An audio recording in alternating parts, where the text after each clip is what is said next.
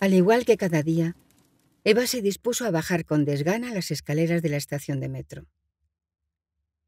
Sumida en sus pensamientos, dejaba atrás la alfombra metálica de escalones dentados, los cuales cumplían la dura misión de soportar el peso de miles de almas cada día.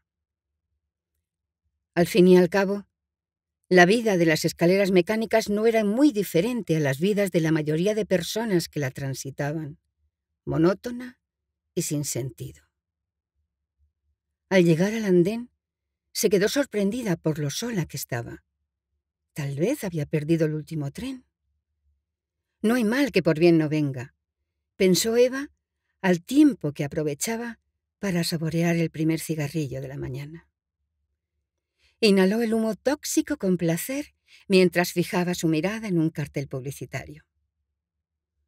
Un apuesto modelo de moda lucía un minúsculo slip que a duras penas cubría lo que se ocultaba tras él. El guaperas miraba con gesto interesante un frasco de colonia que sujetaba en la mano. Fue tal el entusiasmo de Eva al ver la imagen que el cigarrillo se cayó de sus labios. Se rió de sí misma por la situación y se agachó a recuperar el pitillo vio sorprendida cómo el cilindro rodaba directo a la vía. Al mismo tiempo notó cómo el suelo perdía su verticalidad. Aterrada, miró a un lado y al otro, percatándose de que seguía completamente sola en el andén. Retrocedió y vio el cigarro perderse en la vía. El suelo presentaba ya una inclinación imposible y se tumbó buscando desesperadamente un asidero salvador. Empujando hacia atrás su cuerpo, se agarró a la fila de bancos de plástico anclados a la pared. El suelo bajo sus pies ya no solo estaba inclinado, retrocedía poco a poco, desapareciendo. Ya solo quedaba la parte que sustentaba su cuerpo tembloroso. Un temblor se unió a la ya difícil situación. El tren llegaba. La fila de asientos que se había convertido en su única esperanza se quejó con un crujido amenazador saltando por los aires dos de los tornillos que la afianzaban a la pared. Sus brazos ya casi no soportaban el peso de su cuerpo. Ya no quedaba suelo bajo sus pies y las luces del tren que se acercaban se reflejaron en su cara. Miró aterrada la luz cegadora. Una sensación de vértigo la invadió al comprobar aterrada que estaba muy por encima del nivel de la vía. No comprendía cómo seguía soportando el generoso peso de su cuerpo. El plástico de las sillas comenzó a fundirse quemando sus dedos. El tren ya estaba muy, muy cerca y las sillas se estaban convirtiendo en una masa casi líquida e informe. Supo que iba a caer. Ya no tenía dónde aferrarse. Gritó desgarrando sus cuerdas vocales y se dejó caer.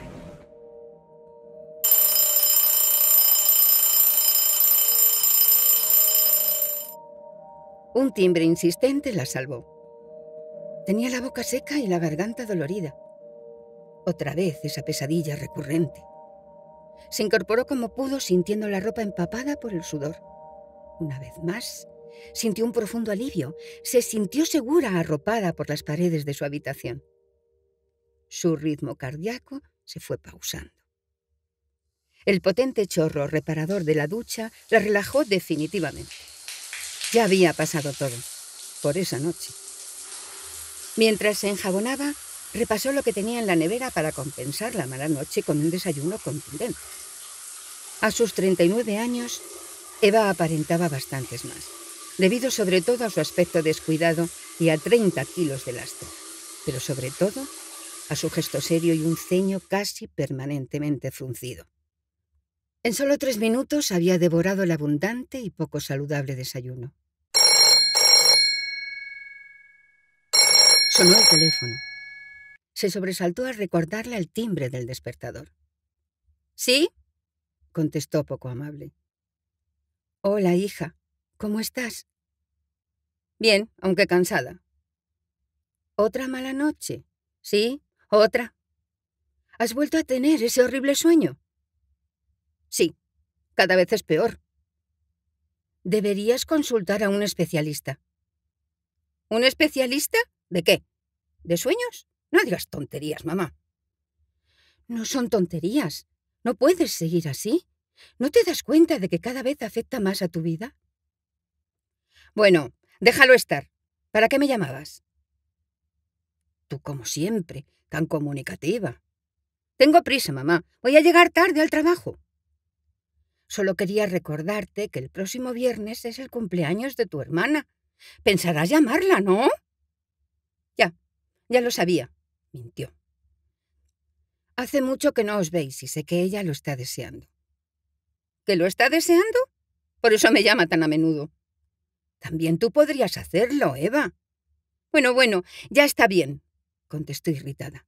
Siempre acabamos hablando de lo mismo. Como quieras, pero recuérdalo, sois hermanas y eso no lo puedes cambiar. Sí, claro. ¿Algo más? Preguntando con ansias de acabar la conversación. No, nada más, hija. Un beso de tu padre. Otro para él. Adiós. Adiós, hija. Colgó con un sonoro golpe. Menuda manera de comenzar el día, pensó. Por lo menos, la insistencia de su madre había servido para quitarse de la cabeza, aunque solo fuera por un momento, la noche sufrida. Sabía que su madre tenía toda la razón. Era demasiado tiempo sufriendo la misma pesadilla que la atormentaba noche tras noche. Y lo peor, cada vez iba más. Cada noche sufría con más intensidad. Ya no pensaba en otra cosa a lo largo del día. Abrió el armario del dormitorio y se puso lo primero que encontró. No perdía el tiempo pensando en qué ponerse y qué no. Salió de casa apresuradamente y puso rumbo a la estación de metro que tenía más próxima. Era inevitable. Todos los días sentía la misma sensación de pánico al aproximarse paso a paso a la boca de metro. Cuando llegaba al andén, se situaba lo más lejos posible de las vías, con la espalda pegada a la pared. Cada instante previo a la llegada del tren se hacía interminable, hasta que llegaba puntual como casi siempre. Aliviada, esperaba unos segundos hasta sentirse segura y entrar al vagón abarrotado. La multitud la hacía estar más segura. Había pasado la prueba un día más. Sabía que si dominaba su fobia, estaría a salvo. Diez horas después ya estaba de nuevo en casa. Del trabajo a casa. Como marcan los cánones de una vida insulsa. La mayor parte de su jornada laboral consistía en estar encerrada en un oscuro almacén, ordenando, contando, archivando, volviendo a contar y volviendo a archivar. Así todos los días de los últimos 20 años. Siempre que entraba en casa y de forma mecánica, se dirigía al frigorífico, Hacía un repaso a sus existencias y mientras se cambiaba, confeccionaba el menú. Volvió a la cocina tras ponerse una bata desgastada y gozar del mejor momento del día. Pasta fría, una gran porción de queso fuerte regado con refresco en abundancia y pan para dar y regalar. Vamos, una dieta equilibrada. Lo cierto es que le importaba una mierda las consecuencias de tal festín para sus arterias. De hecho, Lejos de sentirse culpable, terminó el festival con un pedazo enorme de tarta de chocolate congelada. En menos de quince minutos no quedaba frente a ella más que migas y platos vacíos que hacían compañía a los restos del desayuno. Miró el panorama. Ya lo recogeré más tarde, pensó. La cocina estaba integrada en un modesto y desordenado salón con un único sillón de imposible estampado que había conocido mejores tiempos. Se acomodó y cogió el mando a distancia del televisor que estaba en una pequeña mesilla. Al menos, presionó el botón de cambio de canal 60 veces hasta encontrar algo que le interesó. Una telenovela viejuna y olvidada, emitida por un canal tan olvidado como lo que emitía. Las imágenes mortecinas del programa y la digestión pesada comenzaron a hacer su efecto anestésico. El mando a distancia, que aunque estuviera seis horas frente a la tele no soltaba nunca, como si alguien se lo fuera a quitar, cayó al suelo. El sueño y el cansancio la vencieron.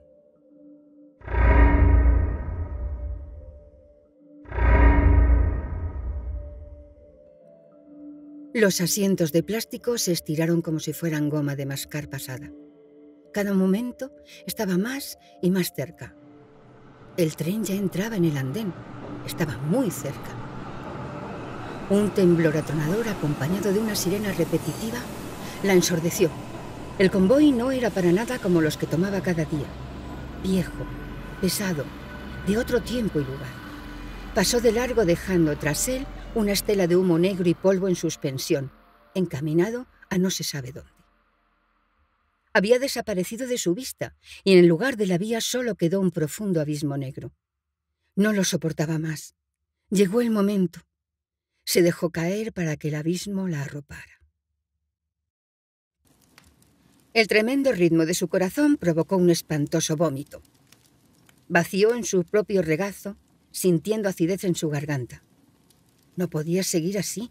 No podía. La pesadilla se repetía en cualquier momento. Estalló en un profundo llanto. Hubiera deseado tener a alguien a su lado. Alguien con quien poder compartir lo mucho que estaba sufriendo. Alguien que la abrazara y la transmitiera seguridad aplacando su desesperación pero eso no era posible. Su carácter la había conducido a ese terrible mal de esta sociedad que es la soledad no elegida. Resignada se levantó. Contempló asqueada cómo su bata se había convertido en una enorme plasta de espagueti y queso mal digerido por el ansia y la prisa. Con poca delicadeza y despreocupada de ir depositando restos por el piso, entró al cuarto de baño. Una vez aseada y algo más tranquila, decidió acostarse mentalizada de pasar toda la noche en vela. A las tres horas de vigilia se sentía rendida. Por mucho que luchaba por mantenerse despierta, era imposible. Miró el cenicero de la mesilla de noche atiborrado de colillas malolientes y eso es lo último que vio antes de abandonarse. Por un momento pensó que había despertado, pero no era así se vio a sí misma dentro de uno de los vagones del viejo tren. Oscuro, muy oscuro. La penumbra solo se rompía al final del largo pasillo que se formaba entre las dos filas de bancos de madera cochambrosos. Los vagones de tren no eran tan vertiginosamente largos, pensó, pero se sentía viva y por el momento apareció suficiente. Reparó en una tenue luz mortecina al final del vagón. Hubiera preferido no hacerlo, vio un grupo de figuras con aspecto amenazador. La observaban pacientemente, sin prisa, como si dispusieran de todo el tiempo del mundo. Aterrada, retrocedió. Sus compañeros de viaje se fueron acercando lentamente, con paso cansino pero decidido. Eva retrocedía sin apartar la mirada del grupo. Ellos no paraban, hasta que su espalda topó con el final del vagón. Estaban cerca, muy cerca. De pronto se detuvieron. Quería despertarse, salir de la pesadilla, pero no podía, no dependía de ella. Su terror era tal que no podía mover ni un músculo. Intentó gritar, pero su garganta no emitió sonido alguno. El tren seguía con su rumbo indeterminado cada segundo a más velocidad. No había estaciones en las que tuviera que detenerse. Eva sintió una presión en los ojos como si se fueran a salir de sus órbitas. Fueron acostumbrándose a la penumbra poco a poco y ya casi podía distinguir los rostros amenazantes. Al ver lo que vio, prefirió no poder verlo. Deseó la ceguera. Eran seis, con diferentes alturas muy discordes unos de otros. Uno de ellos parecía un niño o un enano. Alzó la vista para enfocar en sus rostros. No distinguía sus facciones. Era imposible hacerlo ya que no existían. Sus caras no eran más que una sombra a través de la cual podía ver la luz del final del vagón. No supo por qué, pero el pánico inicial se convirtió en un sentimiento de paz. Pero era solo eso, una sensación. Uno de ellos, el más alto, extendió su mano hacia ella. Eva se dejó llevar y la aceptó. Como si de una vieja película de cine mudo se tratara, vio, a través del rostro del extraño, cómo pasaba a velocidad vertiginosa lo que había sido su vida hasta ese momento. Contempló atónita su nacimiento, la cara de felicidad de su padre mientras la estrechaba entre sus brazos. Sintió cómo crecía, vio su colegio y a sus compañeros de clase, una adolescencia plagada de episodios tristes, los corrillos que formaban a su paso los jóvenes del instituto, hablando por lo bajo y riéndose de su aspecto. De nuevo, la imagen de su padre, seria, fría, intentando convencerla de que no iba por buen camino. Como música de fondo, la voz repetitiva de su madre. Siempre hablando, hablando, hablando. Pudo ver a Daniel, su primer y único amor. Volvió a revivir el momento en el que la decía. Lo siento, Eva. Ya no podemos seguir viéndonos.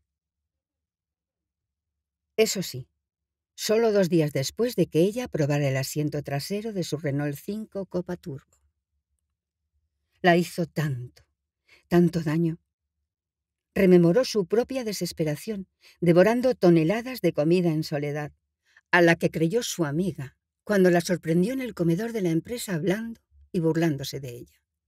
La cara de indiferencia y desprecio de todos sus compañeros de trabajo, y como denominador común, soledad, rabia y arrepentimiento.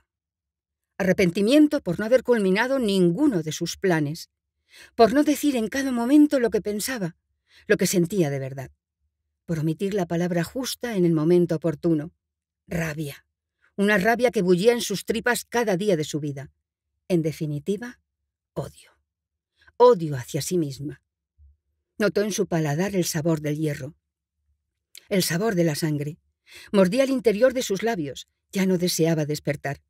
El balance de su existencia daba como resultado en su debe un desprecio absoluto de su propio ser. Soltó la mano del que había sido su guía a través del nunca pensó que pudiera llegar a tal extremo. Gritó una y otra vez hasta que su garganta se quebró. Entonces, uno de ellos la habló. Estamos aquí para salvarte salvarte de ti misma. No quiero que nadie me salve, contestó. No has aprendido nada, pero tendrás tiempo, mucho tiempo. No quiero tiempo, quiero morir. ¿Morir? Esa palabra no tiene ningún significado, al menos tal y como tú la conoces. Entonces, ¿dónde estoy? En tu interior, sentenció. No, no puede ser. Esto no es más que una puta pesadilla es tu pesadilla, la que has ido creando a lo largo de toda tu vida. Tú y otros como tú nos habéis creado. El odio, la desconfianza, la rabia, ese es nuestro alimento y nuestra razón de ser. Vivimos de vuestros miedos y miserias. Con cada palabra pronunciada, el rostro del ente tomaba una forma más definida, más real. La sombra dejó paso a unos rasgos que le eran familiares. Horrorizada, pensó que se estaba viendo reflejada en su espejo. Pero no era así, y de algún modo así era. Se vio a sí misma, al monstruo que habitaba en su interior. La imagen mantenía la expresión dura y amargada de tiempos pasados y presentes, aunque con muchos, muchos años más. La tersura de sus hinchados mofletes había desaparecido. En su lugar colgaban jirones, mezcla de pellejos y carne hasta la barbilla, el pelo casi había desaparecido. Sus labios, en un tiempo carnosos, dejaban paso a dos líneas casi invisibles, como una puñalada en un tomate, y tras los cuales aparecían unos dientes completamente podridos. Hasta pudo oler su aliento nauseabundo, pegajoso, como salido de una cloaca. Ningún sueño podía ser tan real, pensó, y estaba en lo cierto. La mente humana por retorcida que sea, no podía crear un daño tan atroz consigo misma. Tras la abominable visión, su corazón se negó a seguir latiendo. Colapsó. Pero su mente seguía funcionando. Estaba consciente. Se encontraba flotando en un mundo ubicado entre la vigilia y el sueño. Un limbo que para la mayoría de los mortales no existía. Un mundo al que había entrado para posiblemente no salir jamás abrió inconscientemente las puertas del infierno, su infierno. Ahora empezaba a comprender, y ellos se dieron cuenta. El teléfono de la habitación sonaba insistente. Al otro lado, la madre de Eva insistía pacientemente una y otra vez. Había pasado más de una semana sin noticias de su hija. Preocupada, decidió visitarla personalmente no sin antes comprobar que tampoco había asistido a su trabajo. Plantada frente a la puerta del apartamento de Eva, llamó a la puerta una y otra vez sin obtener respuesta. Aunque estaba muy alterada, cayó en la cuenta de que el conserje de la finca guardaba una llave para emergencias. Corrió a buscarlo. Acompañada por el portero, entraron a la vivienda. La imagen que presentaba la casa no la sorprendió demasiado. Conocía bien a su hija. Al entrar al salón recibió como una bofetada el olor a vómito seco. El mando a distancia de la televisión estaba cubierto por un despojo maloliente de espagueti. Algo terrible había sucedido, pensó angustiada. Se dirigió al dormitorio con el temor añadido de encontrar algo inesperado y fatal. Un grito desgarrador se extendió por toda la finca. El portero, que seguía a la madre solícito, palideció. Allí estaba su hija, tendida sobre la cama, sin vida aparente. Los ojos completamente abiertos reflejaban un terror infinito. La sangre, ya seca, pintaba su barbilla y la boca, o lo que quedaba de ella, ya que sus labios estaban desgarrados, hechos jirones. Las manos atenazadas y contraídas buscaban algo en el infinito. La dantesca imagen de lo que había sido su querida niña la provocó un llanto desesperado. Algo dentro de sí la decía desde hacía mucho tiempo que algo parecido podía suceder. El sentimiento de culpa afloró y la devoró las entrañas. Entretanto, el conserje, pegado a la pared y tan blanco como ella, balbuceó. Señora, voy, voy a llamar a la policía.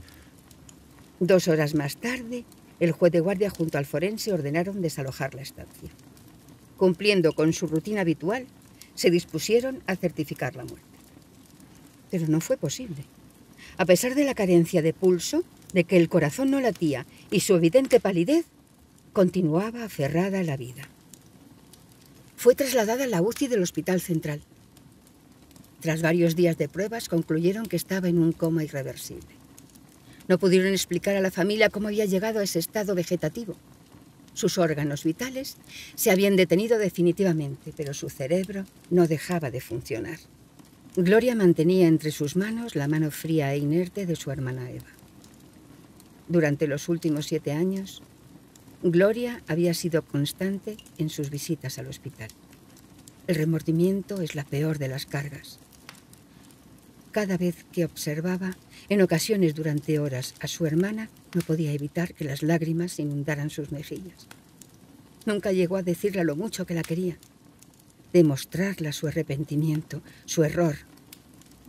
Una vez tras otra la repetía lo mismo, tratando de justificarse, de que ella, aunque fuera en lo más profundo de su interior, pudiera perdonarla.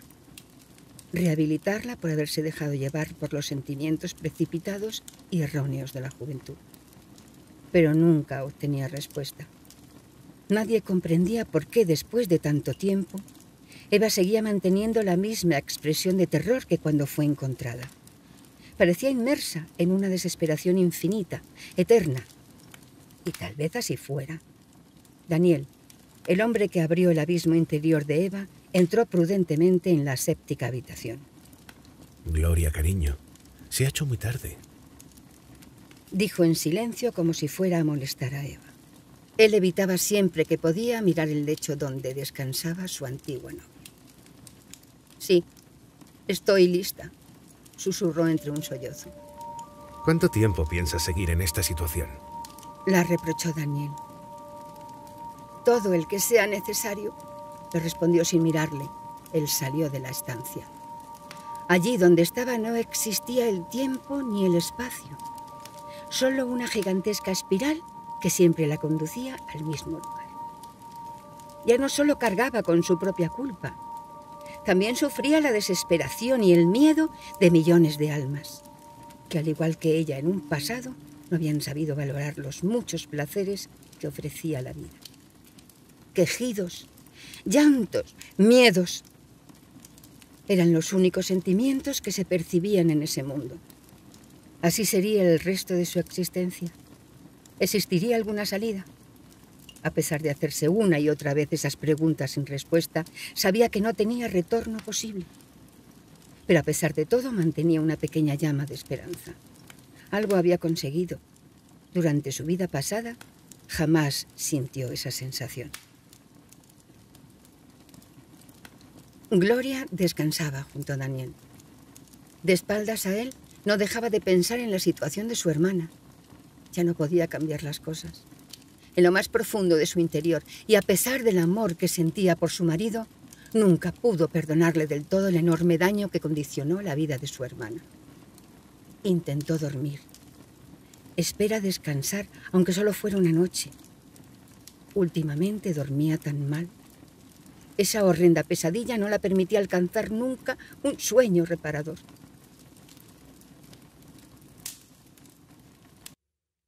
Su cuerpo estaba completamente paralizado. Solo los ojos obedecían los impulsos de su cerebro, moviéndolos incesantemente de un lado a otro. Buscaba desesperadamente una referencia que pudiera darle alguna explicación a lo que estaba sucediendo. Sentía un frío glaciar. Su cuerpo desnudo reposaba sobre una cama metálica. Repentinos impulsos de dolor la sobresaltaron. Percibió una extraña mezcla de incalificables olores. Parecía todo tan real, aunque era consciente de que no lo era. Al menos eso creía. Una insistente luz procedente de la parte superior de la estancia hirió sus retinas. Pero sus párpados no respondían a la agresión luminaria y no podían cerrarse. Se le antojó la idea de que iba a ser la única espectadora de una función teatral aterradora. Repentinamente, un grupo de figuras cubrió su campo visual. La rodeaban expectantes y amenazadores. La potente lámpara que atormentaba sus ojos pareció aumentar su intensidad. No podía, por más que lo intentaba, distinguir a sus visitantes, sobre todo sus rostros. Intentó huir, gritar, pero era imposible. Su cuerpo le era ajeno. El único sonido que percibía era el de su propio corazón, un palpitar atronador hasta límites de locura. Una de las figuras acercó su rostro al de ella, tanto que sintió su aliento, fétido y nauseabundo. Giró los ojos hasta que le dolieron. Las lágrimas nublaron su vista, aunque no lo suficiente como para ver la transformación que tenía lugar en la imagen que la acechaba. La sombra pasó a ser un rostro reconocible, perfectamente identificable. Allí mismo, frente a ella, estaba su hermana Eva. Hola, hermanita, dijo en un tono poco tranquilizador. Ha pasado mucho tiempo. Gloria intentó hablar, pero su garganta se negaba a emitir ningún sonido. La sensación de impotencia era infinita. Siete largos años intentando comunicarse con su hermana y ahora que estaba frente a ella no podía decirle una sola palabra. Lo sé, lo sé, dijo Eva. No te preocupes. Sé perfectamente lo que quieres decirme. Sé lo mucho que has lloriqueado sobre mi lecho de muerte aparente. He sentido durante años tus asquerosas lágrimas caer sobre mi cara. Tus sensibleros quejidos atormentaban mis oídos. ¿Creías que no podía oírte? Pues sí. Y ahora estoy aquí para responder a tus súplicas, para que sientas lo que yo he sentido a lo largo de mi asquerosa vida. Y después de ella, Querida mía, no sufras. Ya siempre estarás a mi lado. Siempre.